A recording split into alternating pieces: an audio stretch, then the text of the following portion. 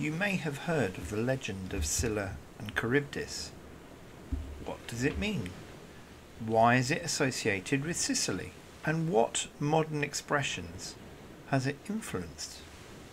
Scylla and Charybdis were mythical, sea-bound perils, and they were referenced by Homer amongst others. Based on Greek mythology, they could be found on the Straits of Messina, between Sicily and the toe of Italy. Scylla was a six-headed sea monster on the Calabrian coast, whereas Charybdis was a whirlpool off the coast of Sicily. The risk of Scylla and Charybdis, the Straits of Messina, encountering one or both of them. Both posed a significant risk to any passing mariners, as avoiding one may well involve an encounter with the other. The expression of choosing between Scylla and Charybdis is to choose the lesser of two evils. For example, between a rock and a hard place, catch 22, or also is used the expression Hobson's choice. So who are Scylla and Charybdis? Well, Scylla was a beautiful nymph who was sought after either by Poseidon or Glaucus, depending on the story you read. In one story, Scylla spurned the advances of Glaucus, who was then the beloved of Circe.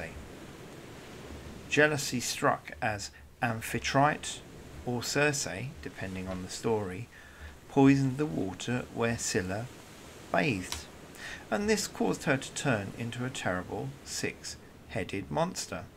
Charybdis was caught up in a feud between her father Poseidon and her uncle Zeus.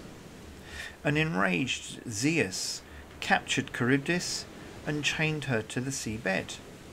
He then cursed her, the result of which caused the whirlpools in the sea. Homer wrote that Odysseus was warned of the risks of passing through the dreaded Straits of Messina. Odysseus reasoned he chose to pass close to Scylla, the six-headed monster, as in this way he may some sailors but may survive, whereas if he passed on the side of Charybdis, he risked losing his entire ship to the whirlpool. Well, he did pass by Scylla, and Scylla indeed attacked the ship of Odysseus, and snatched six of his crew. Scylla and Charybdis are frequently referred to in art and literature.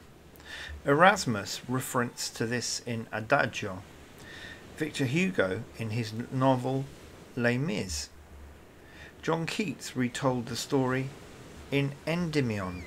Scylla and Glaucus is an opera composed by Jean-Marie Leclair.